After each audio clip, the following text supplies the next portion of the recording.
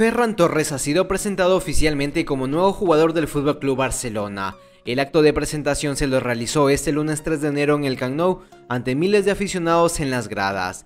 Ferran aparecía junto a la puerta por primera vez vestido de azulgrana en el césped del Camp Nou. Así como se ha hecho costumbre en la era Laporta, se dio unas palabras de bienvenida por parte del presidente, quien agradeció la disponibilidad del jugador Viene de dejar al Manchester City, uno de los grandes candidatos para la Champions, y viene al Barcelona a jugar la Europa League, aceptando una rebaja salarial importante. El jugador también ha querido dar unas palabras a su nueva afición y agradeció por la confianza depositada en su fichaje. Ha sido un gran esfuerzo eh, per, a tots. Estic molt agraït a, a tota la directiva del, del Barcelona, al Presi, a Rafa. Respecto a su debut, el jugador aseguró estar casi recuperado de su lesión se espera que pueda debutar en la Supercopa Española o incluso antes en la Liga ante Granada este sábado 8. Todo depende de su inscripción porque a pesar de la presentación de Torres, el jugador todavía no ha sido inscrito en la liga, debido a que el Barcelona excede la masa salarial.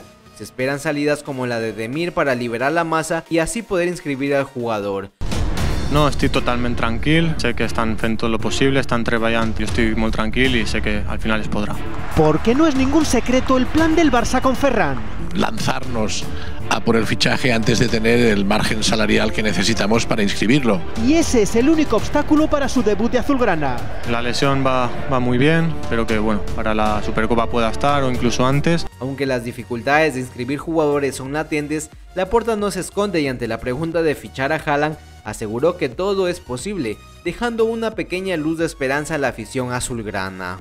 Todo es posible, todo es posible. Así de claro lo tiene la puerta cuando le preguntan por este nombre. Con Haaland. Todo es posible, todo es posible. ¿En español o en catalán? Todo es posible, todo es posible. La respuesta es la misma. Todos los jugadores e importantes tienen al Barça como referencia. Y no puede evitar esbozar una sonrisa. Todo es posible eh, si se hace bien. Y lo que estamos intentando es eso, hacerlo bien. Y ojo, porque el presidente avisa al resto de equipos. Todo el mundo ya se puede ir preparando porque hemos vuelto, hemos vuelto y con, con ganas de hacerlo muy bien. Seguimos siendo una referencia en el mercado futbolístico.